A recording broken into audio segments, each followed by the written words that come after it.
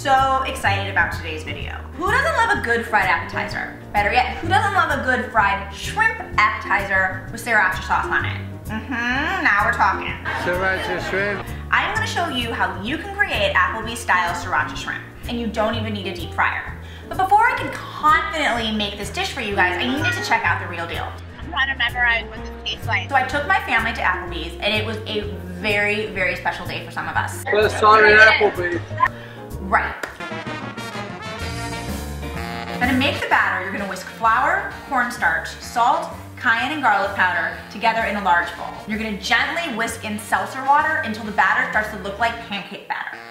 And for the sauce, you're gonna need about a quarter cup mayonnaise, one tablespoon sriracha sauce, although I put in a little bit more because I like my things hot, and then you're gonna need some lime juice to taste.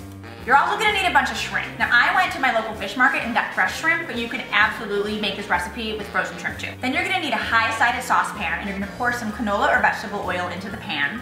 Now comes the fun part.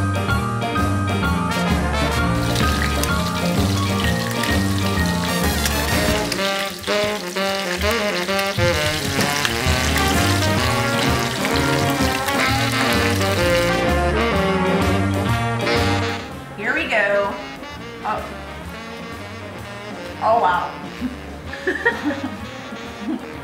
it literally tastes just like the appetizer. This is the moment of truth. The sauce is exact. Are you guys just saying this because I'm doing a video?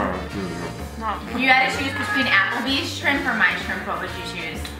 Patricia's shrimp. Oh, this one. Oh.